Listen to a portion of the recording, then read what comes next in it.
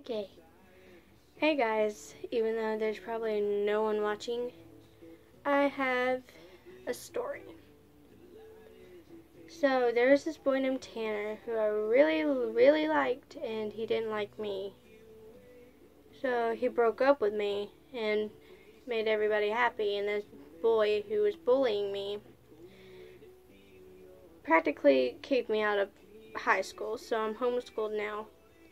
And I have no friends. I only talk to my cousin, and I have a new boyfriend named Steven.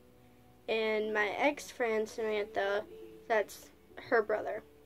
So she doesn't like the fact that I'm dating him. But, like, she posted a picture of Tanner on his on her Snapchat with Josh, his friend.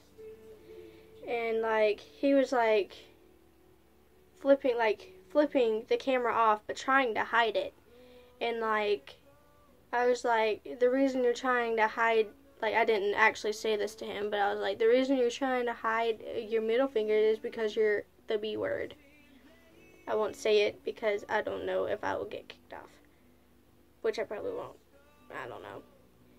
But like he was flipping out the camera. And I was like, I mean, if you're gonna flip the camera off, just like do it without like being scared. I mean, really? Just do it.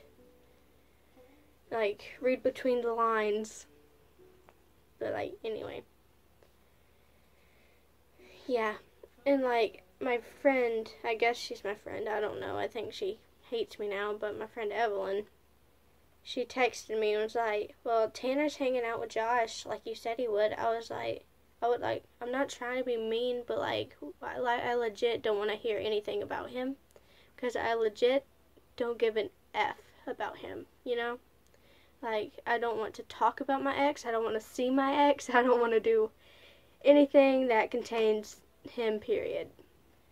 And like, I'm tired of everything. I mean, really. Life, though, ain't it? But like, this is just a story. I'll, I'm gonna see if I'll post more, but I highly doubt it.